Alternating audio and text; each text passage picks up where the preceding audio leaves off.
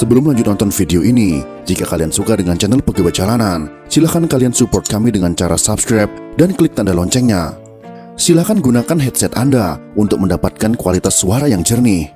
Selamat menonton.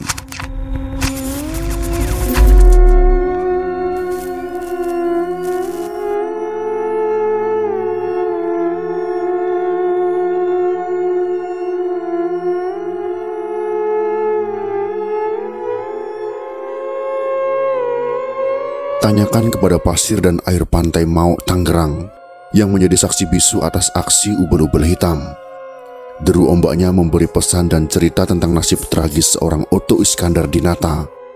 Sebuah peristiwa yang nyaris hilang di telan ombak. Aku hanyalah seorang nelayan kecil di tepi pantai Ketapang Mau Tangerang. Jumadi namaku. Aku tak tahu menahu apa pun kehidupan Jakarta pada masa perjuangan kemerdekaan tahun 1945. Yang ku tahu hanyalah laut yang maha luas, ombaknya yang keras dan ikan yang harus kutangkap sebanyak-banyaknya untuk makan anak dan istriku. Saat itu di bulan Oktober tahun 1945, saat berangkat menangkap ikan, aku mendengar perbincangan di warung kopi. Orang-orang membicarakan bahwa pemerintah Republik Indonesia di Tangerang yang dipimpin oleh Bupati Agus Patmanegara dihancurkan oleh Usman. Dari pembicaraan mereka aku tahu bahwa Usman adalah komunis yang melancarkan gerakan bawah tanah di Tangerang. Usman dan komplotannya menolak pemerintah Republik Indonesia. Mendengar namanya saja membuatku ngeri, seperti kelelawar malam yang haus darah. Usman membentuk sebuah laskar ubel-ubel hitam melakukan aksi teror dengan membunuh, merampok harta penduduk Tangerang dan sekitarnya seperti di Mau, Kronjo, Kresek, dan Sepatan. Aku lihat dengan mata kepalaku sendiri, pada tanggal 12 Desember tahun 1945, Usman dan komplotannya membubarkan aparatur pemerintah tingkat desa sampai kabupaten. Puncaknya mereka membunuh pejabat penting di Mau.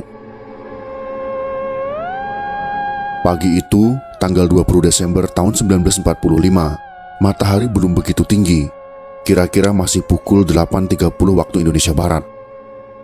Dari kejauhan di balik semak pantai, aku lihat salah satu komplotan Usman bernama Mujitaba memancung kepala seorang lelaki di tepi pantai Ketapang Mau, Tangerang. Jasadnya kemudian dilarung ke laut dan hilang. Sungguh aku tidak tahu siapa orang yang dipancung itu. Aku hanya menduga pastilah ia sangat dimusuhi oleh komplotan Usman. Baru 14 tahun kemudian semua menjadi jelas.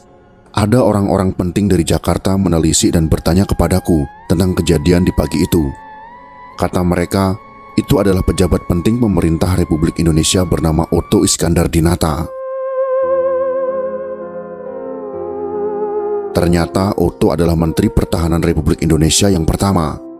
Dari orang-orang kota itu aku juga tahu Otto merupakan salah satu pengurus Budi Utomo dan salah satu yang berjasa dalam mempersiapkan kemerdekaan Indonesia. Apa tindakan pemerintah setelah mengetahui bahwa orang itu ternyata pejabat tinggi negara bernama Raden Otto Iskandar Dinata? Aku tidaklah mengikuti. Aku hanya tahu saat itu keluarga Otto mengambil gundukan pasir dari pantai Ketapang Mau kata orang-orang untuk dikubur di makam pahlawan Bandung.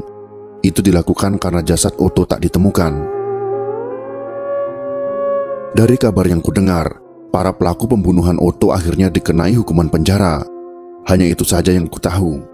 Sementara aku melanjutkan hari-hariku sebagai nelayan kecil. Menjelang akhir tahun 1952, warga Bandung menyaksikan pemakaman kembali tokoh Pasundan Otto Iskandar Dinata disebut pemakaman kembali karena jenazahnya sebetulnya tidak pernah ditemukan. Sentot Iskandar Dinata, salah satu putra Otto, tiba di Bandung dengan memanggul sebuah peti berisi pasir dan air laut sebagai simbol jenazah Otto. Pasir dan air laut itu dimasukkan ke dalam peti, diiringi doa seorang penghulu jaksa Tangerang. Dalam rombongan terdapat Menteri Perhubungan Juanda, Insinyur Akar Baratakusuma, Dr. Jung Yunan, serta Letnan Kolonel Sukanda. Peti jenazah berisi pasir dan air ini dimakamkan pada hari Minggu, tanggal 21 Desember tahun 1952 di Taman Bahagia daerah Lembang. Pemakaman dimulai pada pukul 10 pagi, dimulai dengan menyanyikan lagu Indonesia Raya. Peti diangkut oleh sejumlah pemuda berpakaian putih-putih. Para sanak saudara Oto berjejer di bawah bendera setengah tiang diapit oleh panitia. Hingga kini anak cucu Oto, para peziarah dari berbagai penjuru Indonesia hanya bisa menziarahi pasir dan air pantai Mau yang menjadi saksi kebengisan gerombolan PKI ubel-ubel hitam. Bagaimanapun pasir dan air pantai Mau adalah satu-satunya saksi. Hanya pasir dan air pantai itu yang bisa dihadirkan di makam Oto. Jika bukan karena Jumadi, entah apa yang bisa dicatat tentang kepergian Oto. Ia pasti hanya tinggal misteri ditelan deru ombak pantai Ketapang. Dan di makam pahlawan Bandung itu pun Otto hanyalah segenggam pasir dan air yang bisa menguap kapan saja. Semua gara-gara keganasan Laskar Ubel-Ubel Hitam buatan Usman itu. Satu, untuk membela nasib, kehormatan, dan kemuliaan tanah air. Itulah sebuah kesaksian tentang terbunuhnya Otto Iskandar Dinata oleh seorang bernama Jumadi, seorang nelayan yang tinggal di daerah Tangerang. Jika kalian suka dengan video ini, silahkan berikan jempol ke atas dan jika kalian menganggap video ini bermanfaat, maka bagikanlah untuk teman-teman Anda yang lain. Terima kasih sudah menonton.